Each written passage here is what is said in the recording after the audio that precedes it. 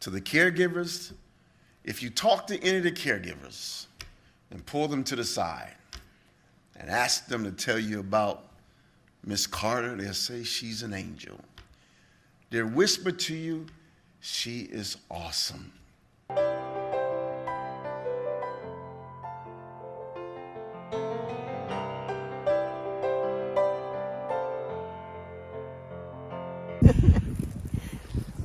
Wonderful.